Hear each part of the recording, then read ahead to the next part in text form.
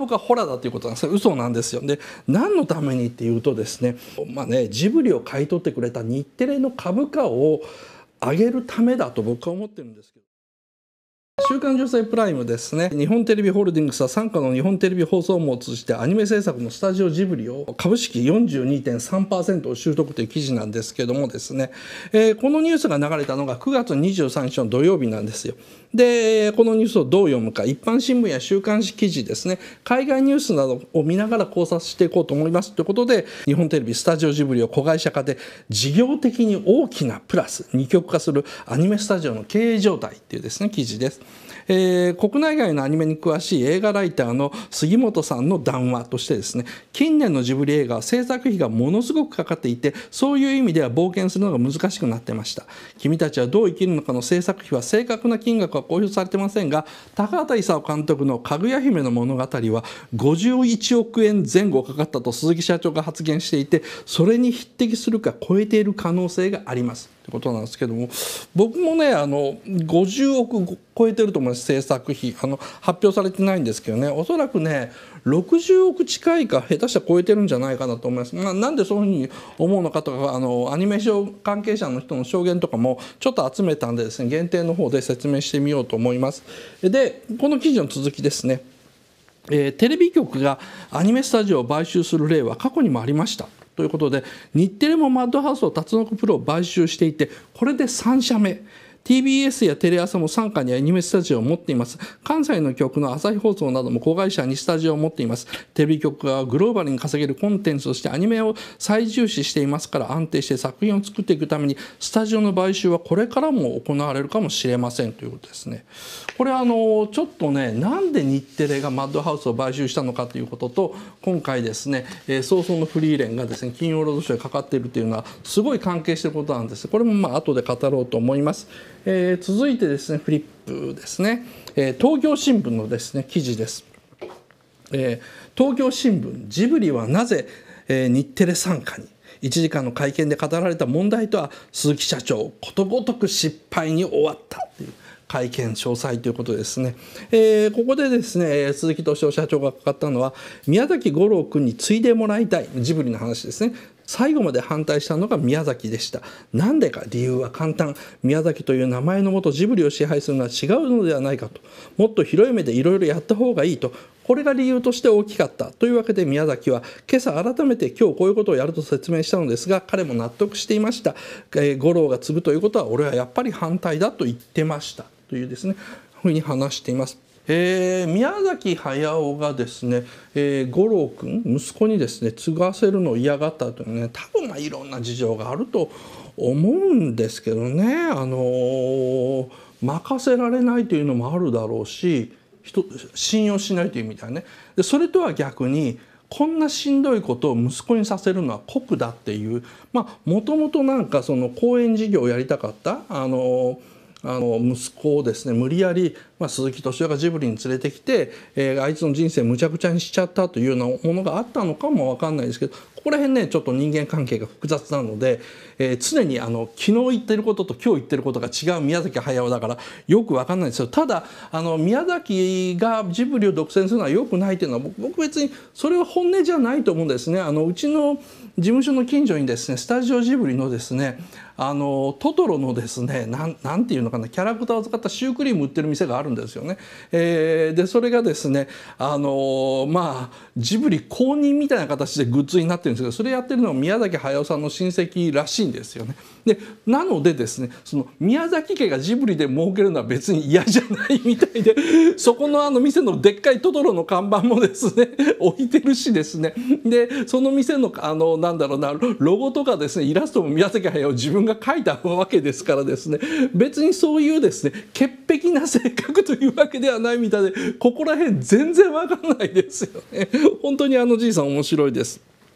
えー、で、えー、このですね東京新聞の続きですね、えーもうあのね鈴木さんねとんでもないこと言い出してます。君たちはどう生きるのか贅沢な映画でしたと。子会社化についてお金の問題影響してるんですかという質問に対してですね、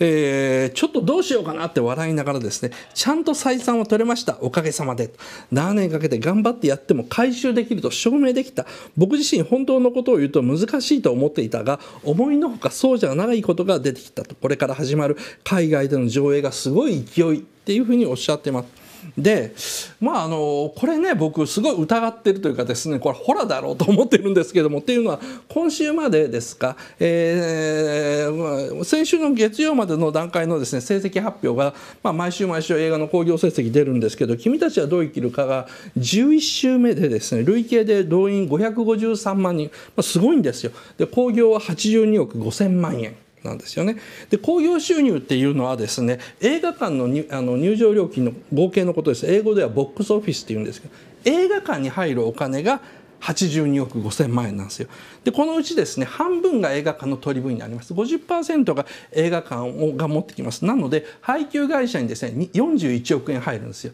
でここからですね、えー、通常宣伝費をトップオフします。でただ今回ですね宣伝費がないと考えていいのでですね、配給会社が配給手数料だけ取るんですよね。でこの配給手数料っていうのがまあ10%ってことはないですよね。20%から30%というふうに言われてます。なのでですねジブリに入るのはですね興行収入82億円であってもですねジブリに入るのは大体28億円から33億円。まあ30億円を超えるぐらいだと思うんですよ。だから絶対ね制作費の僕の予想のですね60億には届かないというかですね30億であんな映画ができるはずがないのでですね採算が取れたはずなんですよ。回収できるはずがないないんですよ。なのにインタビューでですねちゃんと採算を取れましたっていうふうに言ってるんですけどなんかこれが僕はホラーだということなんです嘘なんですよ。で何のためにっていうとですねまあねジブリを買い取ってくれた日テレの株価を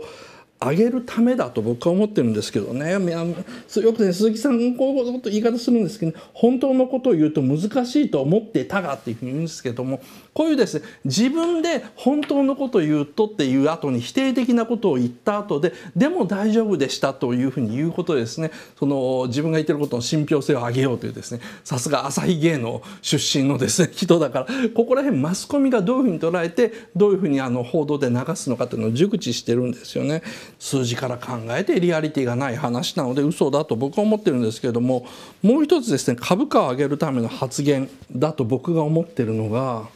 僕が思うのはジブリは世界でも珍しい映画しか作らない会社。その考え方を誰かどっかで変える必要があると。若い人材を育成するというのであれば育つために必要なのはテレビシリーズだと。テレビシリーズで若い人に機会を与えて終作を作ってもらう。その中で出てきたのが高畑でありもともと宮崎だったと。その意味で本当の経営者が必要。本物のっていうふうに言ってるんですけど。まあこの辺の発言でね一気にあの日テレの株価が上昇したんですよ、ね、まあ、すごいですよ。経済誌の反応が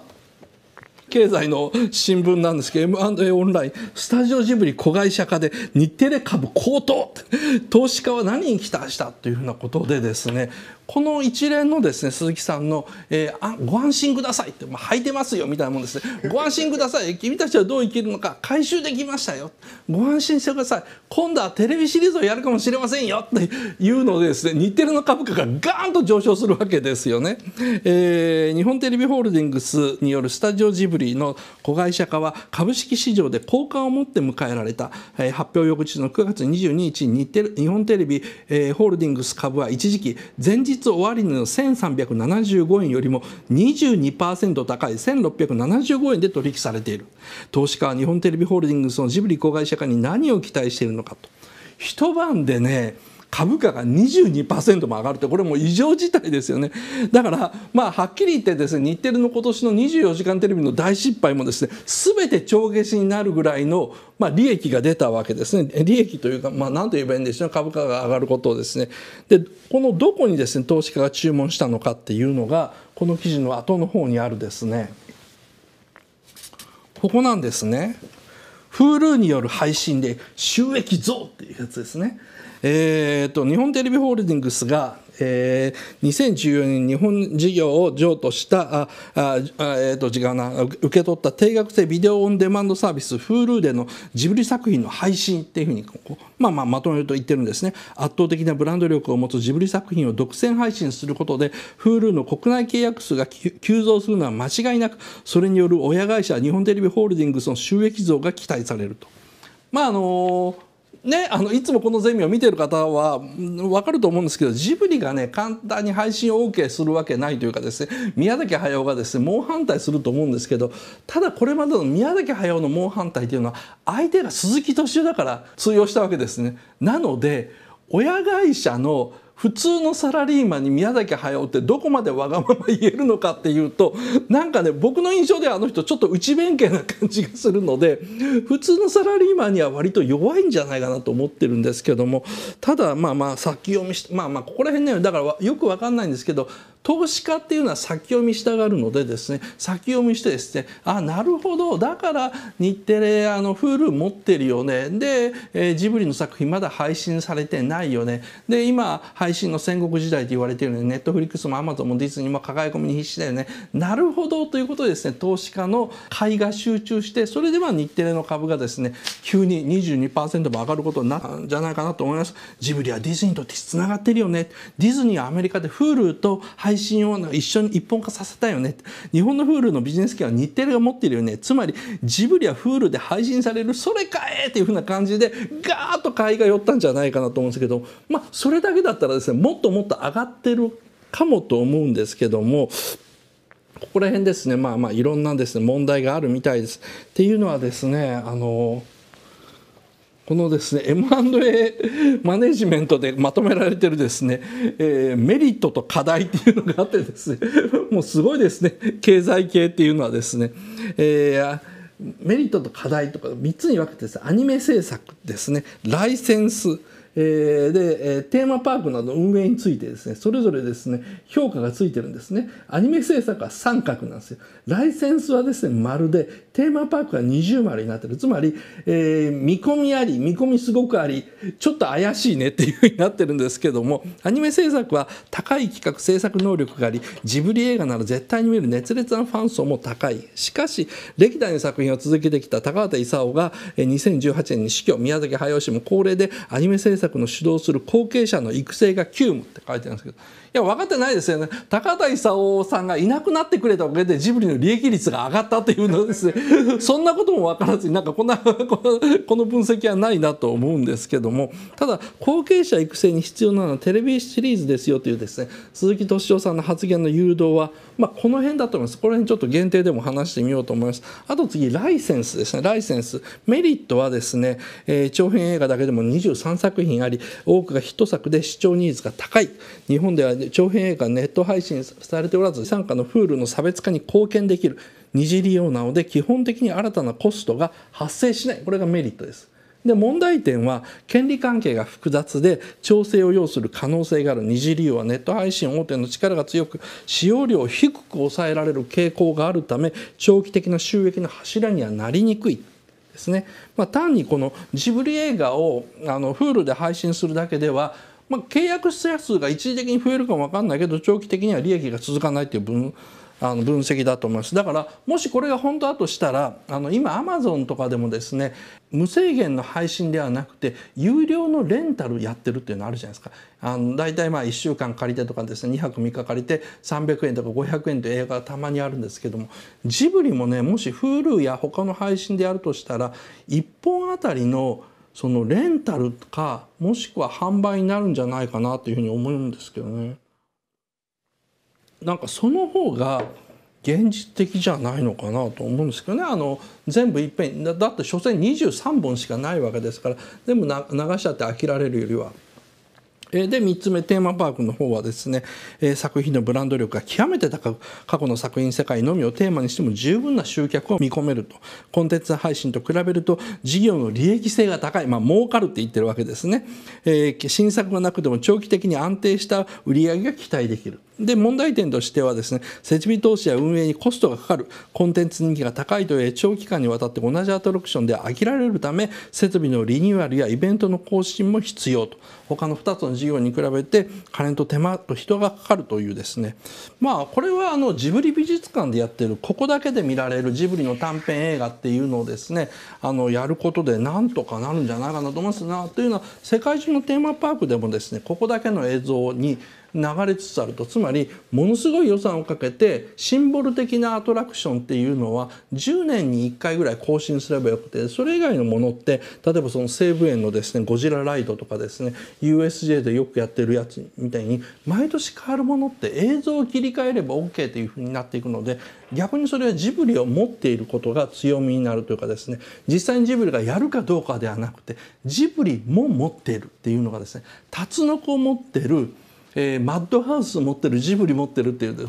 この辺が強みになるんじゃないかなという気がするんですけどまああのじゃあ結局将来ジブリどうなるんだろうというですね僕なりのね予想はあるんですけども海外の経済誌ではですねなんかすでに将来予想とか考えられるピンチとかですね世知辛い話やってるんですけどもここから先はちょっとどんどんあのえぐい話になっちゃうのでですねあの僕の個人的な予想というのは限定の方で話そうと思います。ジブリの特徴というのはですね映画自体の宣伝をですね日テレでやりますよね。あれですねあの配給会社の宣伝じゃないんですね。なのであれはジブリの持ち出しの宣伝というふうに言われてます。ただしジブリの場合はその出資元の中に制作会社の中に日本テレビも入ってるのでまあ比較的その日本テレビがすごいギリギリの値段でテレビ放送あの宣伝もやってくれるのでですね助かるというふうにはまあ思います。あの一応鈴木さんのインタビューでですね「魔女の宅急便」の制作費4億で興行収入16億円以上のヒットでないと赤字だったというふうにあの答えてるのを見つけたのですねいまだにこの4分の1の法則つまりジブリに入ってくるのは興行収入の4分の1だというこれはもうあのまあ20年前から今まで変わらない数字なんだなというふうに思いました。なのでですね例えばそのかぐや姫の物語はですねジブリにとって、えー、支出制作費52億円で、それに対して興行収入25億円ということは、その4分の1だから6億円ぐらいしか儲かってないんですね。6億円で、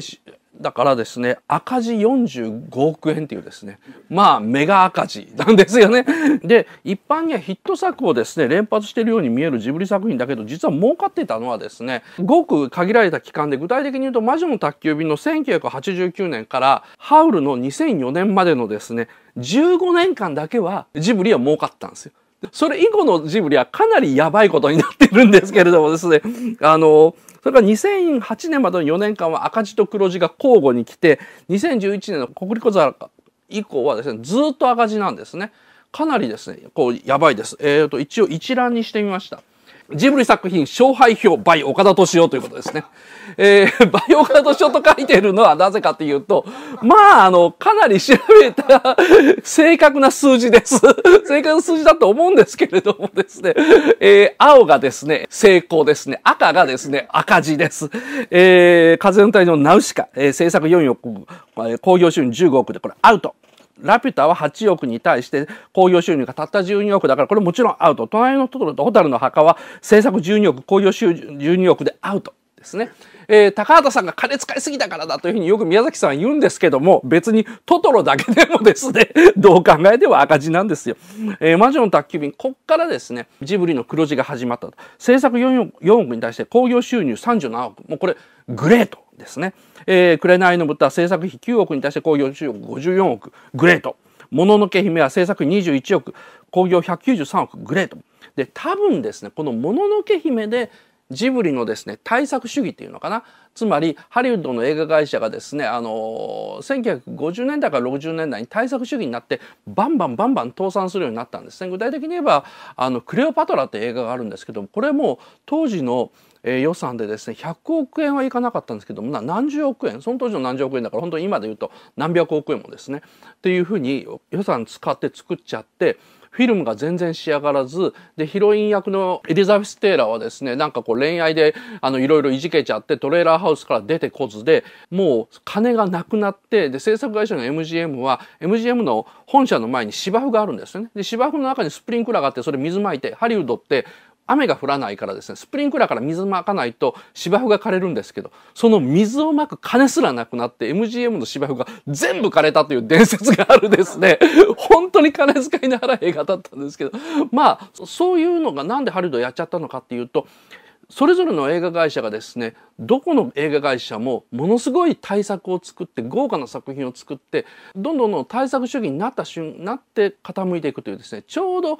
10年ぐらい前のコンシュマーゲーム市場みたいなもんですか？つまりファイナルファンタジーをはじめとする超大型ゲームばっかりやりすぎてみんなバタバタバタバタゲーム会社が体力なくなってパソコンゲームとかも倒れていきましたよね。あれとなんかすごい似たような状況でジブリもですねそこに入っちゃったんですね。あの魔女の宅急便と紅の豚ですねちゃんとあのヒットしたもんだからもののけ姫でそれまで4億円9億円だったです予算を。一気に21億円に上げます。そうすると興行収入193億円ですね。いまだにですね、歴代2位かなんかの数字ですよね。もうグレートです。で、その次の千と千尋の神隠しですね、制作費20億円のままでですね、興行304億円、歴代1位ですね、アメイジング。ハウルの動く城がですね、ちょっと上がっちゃった。制作費24億円で興行196億円、グレートということでですね、まあ、すごく良かったわけです。で、ここでですね、宮崎さんが、あのハウルの動く城をやった後ですねまあもう俺は引退だっていうです確かこの時は2回目の引退宣言だったと思うんですけど 2回目の引退宣言をしたのでですね、えー、皆さんもあのご存知僕も大好きな宮崎五郎君が出てきます。ゲド戦記制作22億に対して興行収入77億。77億ってすごく頑張ったんですよ。あの新人のアニメ監督だったら間違いなく合格なんですけどもここがジブリなんですよね。ジブリって金がかかっちゃうんですよ。ジブリって金かかるのでゲド戦記ってよその会社で作ったら絶対10億円ぐらいなんですよね。なのにジブリで作っちゃったから22億かかって興行成績が77億円だったので、まあ、当然アウトです。えー、崖の上のポニョでもう一回あのクリアということで34億円かけて155億円だから一応クリアです。国立小坂でまた制作費22億円に対して配給収入45億円アウトですね。風立ちぬ最後の宮崎駿作品で制作費30億。まあかけて、えー、興行120億だから、まあ、ギリギリセーフですね。で、かぐや姫の物語が、まあ、さっきも言ったように制作費52億かけて、興行成績25億円ですから、もうこれはアウトどころかヘルですね。地獄です。思い出の前に興行成績12億に対して興行35億アウトというふうなことですね。まあ、あのー、ジブリというのはですね、見てわかる通りですね、ハールの動き城まではすごく儲かってた会社なんですけどもおそらく対策主義になってしまったというのもあるんですけどもその待遇を良くしすぎたっていうのもあるのかな。まあでもそれだけじゃないですね。これを聞いてる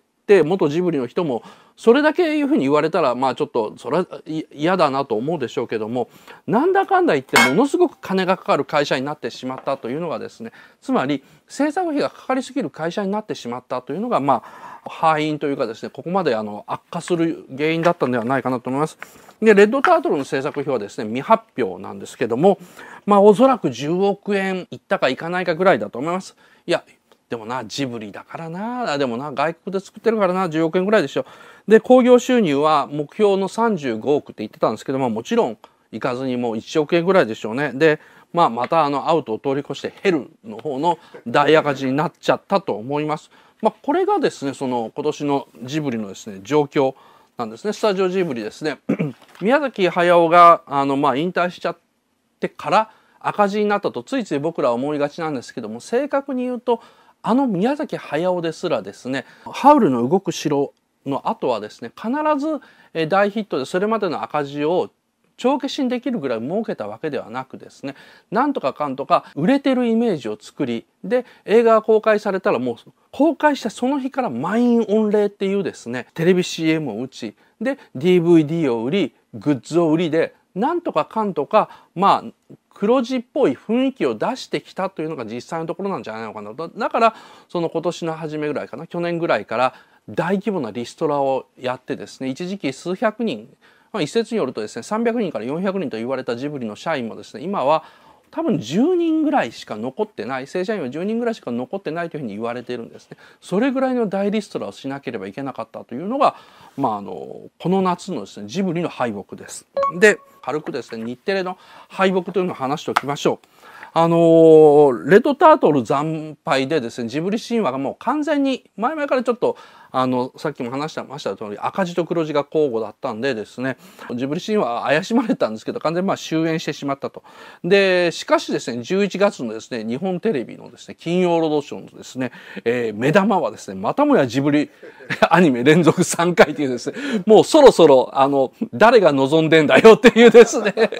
やつになってきてまあでも家にねもうそろそろビデオデッキがない人もいるし DVD とかも置いてない人もいるからそれなりに視聴率あるのかと思います。でなんで新海誠の作品ができないのか不思議ですよね。今でしょもう林先生じゃないですけども。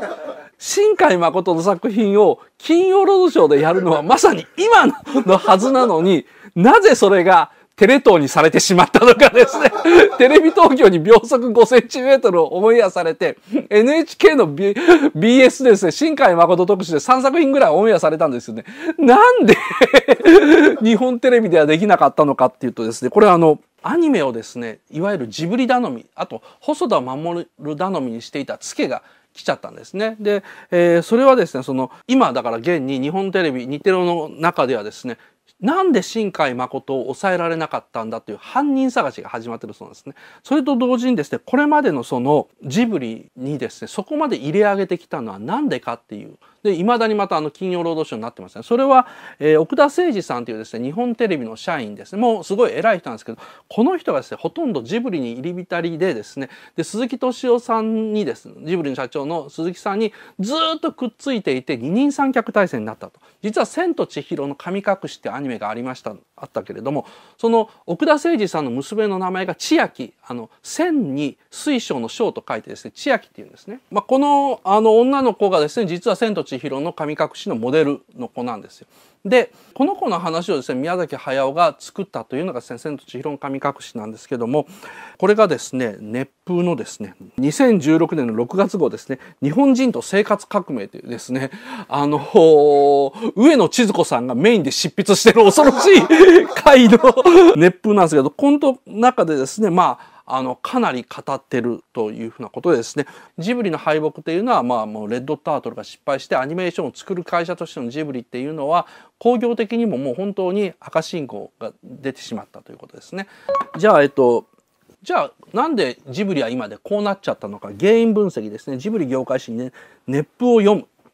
え日本人と生活革命ですね。この中でですね、えー、奥田誠二さんのですね、あのエッセイが載ってるんですけどもですね、すごく面白いです。えー、実はですね、千と千尋の神隠しっていうのはですね、宮崎駿は作るつもりなかったんですね。あのその当時ですね、宮崎駿がやりたかったのはですね、煙突柿の凛っていうアニメでした。でも、イメージボードを何十枚も書いて部屋中に貼ってたんですよ。でも鈴木敏夫はですね、この煙突柿の凛っていう企画が嫌いだった大反対だったっていうふうにですね、まあ、もう奥田誠司さんは書いてます。なんでかというとですねその田舎から出てきた風呂屋のですね壁の絵を描く女の子二十歳の女の子凛っていう子がですねいろんなあの人に出会って結果職人のボスのですねじいさんですね60歳とですね、恋をするって話だったんですね。で、あの、鈴木敏夫さんですね、うんって息を飲んで、うん、60歳のじいさんと20歳の田舎から出てきた女の子の恋物語、宮さん無理があるんじゃないかなっていうことになったんですけど、矢崎駿はもうガンとして聞き入れないって、ガンとして聞き入れなくなくて、なんかチラチラ言われても聞こえないふりをして毎日毎日イモジボード書いて、ひたすらひたすらそれが増えていくと。で、煙突書きの凛は震災後の東京を舞台に風呂屋の煙突に絵を描く。煙突に絵を描くですね。二十歳の女の子を主人公にした話でした。その女の子は吸ったものの騒動に巻き込まれてある集団対立するんですがそのボスが60歳のじいさん。しかも敵対する2人は年の差を超えて恋に落ちる。正直なところ企画としてどうかなと思ってました。そんな時当時ヒットしていた踊る大捜査線をたまたま入った映画館で見たんです。鈴木さんのこれエッセイです。衝撃を受けました。刑事物という枠を超えて現代の若者たちの気分物の見方行動パターン全てが実にうまく表現されされてる。あのこんなに踊る大捜査線を褒める人初めて見たんですけれどもですね。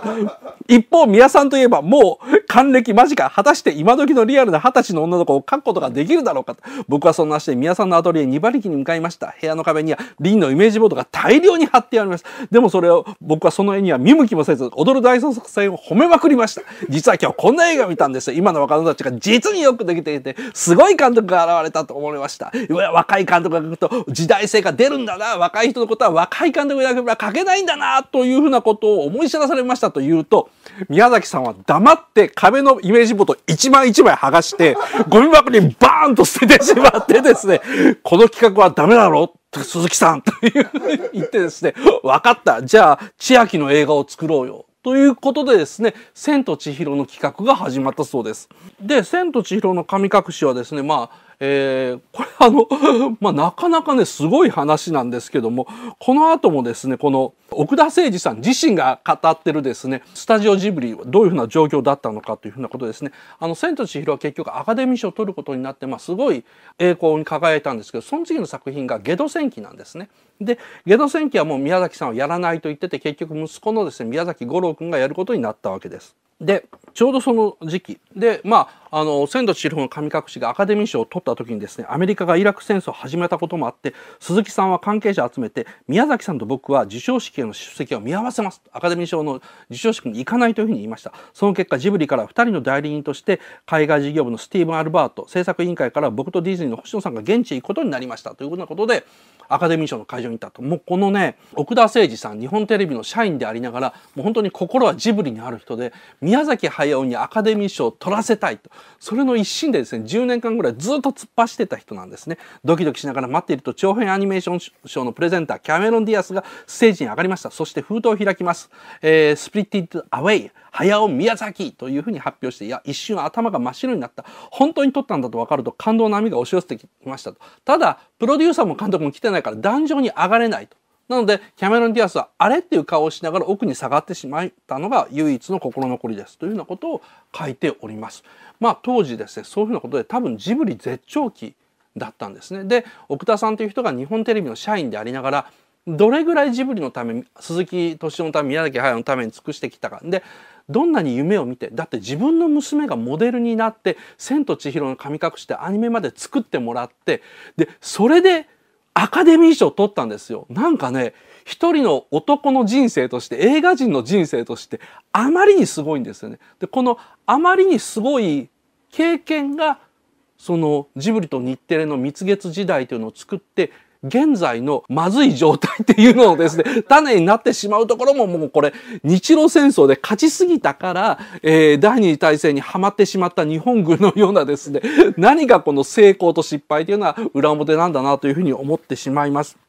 これか、出ました。えー、スタジオジブリですね、2016年8月号、さっきのが6月号だったから、まあ2ヶ月後のですね、広告と宣伝特集です。えー、2006年て当時つまり「千と千尋の神隠し」アカデミー賞を取ったですね当時のですねあの奥田さんのことが書かれてますまさに我が世の春ですこの8月号ではですねもう一つのジブリ誌というふうなことでですね、えー、冷や汗をかいたデスノートのヒットショー、えー、記念パーティーの後ですねアシュラ系ルグインのところに行く話が出てます。アシュラ系ルグインというのはですね、ゲド戦記の作家でですね、実は宮崎駿がゲド戦記を作るためにアニメ作家になったと言ってももうあのおかしくないような人なんですね。本当に1960年代70年代宮崎駿はゲド戦記さえ作れたらそれでいいと。でゲド戦記アシュラ系ルグインの方から許可が下りないため「風の谷のナウシカ」とかですねあと「隣のトトロ」とかですねそういう本当はゲド戦記作れたらこんなの作りたいあんなの作りたいという夢のかけらを集めた作品をずっと作ってたんですね。でもゲド戦記いざアシュラ系ルグインの方から作ってもいいよという時にはその「千と千尋の神隠し」を作って自分の中がちょうどすっからかになった時期なんですね。でも俺はやらないと言ってた。で俺はやらないと言ったからこれま以前もいろんなとこで話したんですけどもこの企画をポシャるもんだと思ったら悪魔の鈴木敏夫がですねじゃあ五郎君にやらせるよという。で五郎にできるはずがねえだろうとかもうこの企画終わりだ終わりだと言ったらまたこれが鈴木さんがですねうまい具合に宮崎五郎息子をですね説得して監督を引き受けさせてしまったと。監督が引き受けさせてしまったら宮崎駿は五郎五郎君のところ行ってお前なんかにできるはずがないというふうにですね正面切って言い合いになってしまう。言い合いにもならないですね。五郎君人格者ですからですね。まあまあそんなこと言われたらただ単にへこむだけなんですけれどもです、えー、そのあたりの話がです。僕鈴木敏夫のエッセイと宮崎五郎の日記で読んだことがあるんですけどもですね奥田誠二さん側から見た証言というのが入っててですね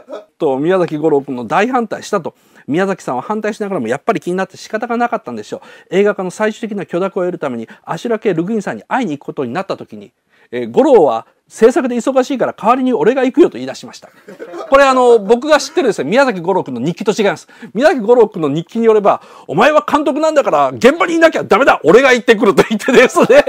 宮崎駿でした。足だけルグイにところに行ってしまった。そんなわけで宮崎さん、鈴木さん、ジブリの海外事業部のスティーブン・アルバートさん、いつも出てきますね。武田美子さんたちの一行に僕も加わり、アメリカ・オレゴン州のポートランドへ向かうことになりました。到着早々ご自宅を訪ねていくと、ルグインさんが出迎えてくれました。当時すでに75歳。挨拶もそこそこに、宮崎駿さんは、ゲド戦記の思いを熱く語り始めました。そして、五郎さんが書いた第一弾ポスターと自分で書いた第二弾ポスターを見せ始めですね、どういう映画にしようとしてるのか説明しました。ところが話しているうちに、自分が監督のような気分になっちゃったんでしょうね。五郎くんのポスターを表して、この構図はおかしい。自分の描いた絵の方がいいというふうに言い出してしまったんですと。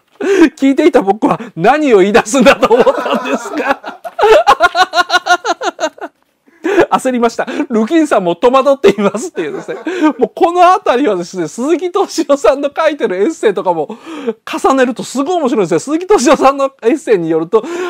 ルグインは最初、アシュラケ・ルグインは宮崎駿に監督してほしいと。そしたら宮崎駿は腕を組んで、ノーもう僕は監督はやりません昔やりたかったけど、もうやりませんと言った。で、話しながら、こう、どんどんどんどん、俺だったらこう作る、こう作る、こう作る。じゃああなたが作ってくれるのノー僕は作ります で、で、息子が作ったポスター見て、こいつが監督やります。でもこいつはね、あなた原作のこと何も分かってませんってボロクソに言い出して、鈴木敏は生まれて初めて人を殴りたいと思ったっていうことがですねまあこれは鈴木さんのあのエッセイに書いてあるんですけどもだんだん変な気分になっちゃって宮崎さんもはっと我に書いた時って僕らの方に向きになって俺なんか変なこと話したというふうに聞きましたと。で僕としてはその場でルグインさんの許諾をもらえるものと思ったんですけどもルグインさんは返事は今晩のあのご飯の時にしますというふうなことでひとまず引き合うことになりましたと。で夜までの時間潰しに行った先はエバーグリーン航空博物館ですね。ポートランドから車で1時間ほどの巨大な施設です。宮崎さんの目当ては、えー、 Hughes Hercules っていうですねこれ Spruce Goose っていうですねヒューズっていうですねあの大天才のですねあのなんだろう大金持ちがいるんですよね。ハワード・ヒューズっていう大天才大金持ちでアイアンマンのまあ本当にモデルになってるような人なんですけども、えー、その人のですね、えー、スプルス・グース・ハーキュリーズって世界最大の飛行機でしたと。で映画のアビエーターのモデルにもなった億万長者ハワード・ヒューズが作らせた機体で宮崎さん夢中になって見学してますでも僕らは全員ルグインさんからの返事がこの後晩ご飯の時だということで気になってどうなるんだろうどうなるんだろうどうなるんだろうぐらい顔してるんだけど宮崎駿だけはもうそんなことはすっかり忘れて ハワード・ヒューズの写真をパチパチパチパチ飛行機の写真を撮ってましたというふうなことで約束の時間になってたら、えー、食事の前にルグインさんから OK が出ましたと安心したという話が書いてあるんですけどもですねなんかね、あの、こういう話がですね、ところどころ入ってるからですね、熱風やめないですね。これ広告と宣伝っていう回で、本当はそんな話ではな何でもないですよ。ただ、そこでですね、さっき話したですね、この USJ をですね、成功させた森岡さんがですね、ものすごい長いインタビューに答えてくれてるんですね。まあ、それでわかるというですね、すごいいい雑誌なんですね。で、まあ、このゲド戦記そこまで苦労して取ってですねアメリカまでですね行ってながらですね、まあ、さっきのあの数字の話でもした通りですねゲド戦記ですね制作費22億円に対して興行収入77億円というふうなことでアウトなんですね。でこの辺りからですね奥田さんのですね日本テレビの中の立場が悪くなってきてですね、えー、一時期はですね日本テレビ映画センターというのをわざわざ作ってもらってこれから日本テレビは積極的に映画に出資していって映画を作るんだ映画会社になるんだと。それどころか映画スタジオを作ってですねで日本の邦画の中の一つとして日本テレビっていうですね映画会社を作ろうというプロジェクトがですね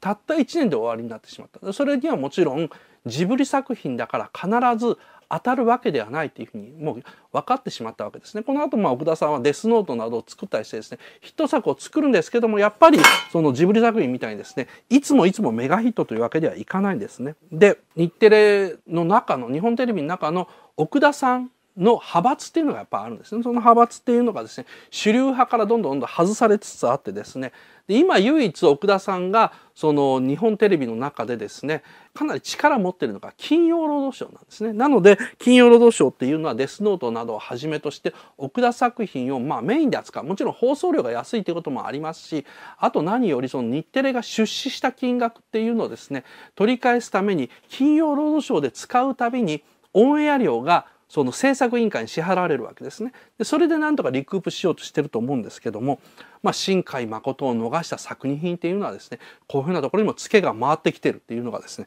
この熱風を読んでると分かるという話ですね。マリオのゲームオーバーみたいなもんで「ああ終わっちゃった!」っていう感じに近いと思うんですよね。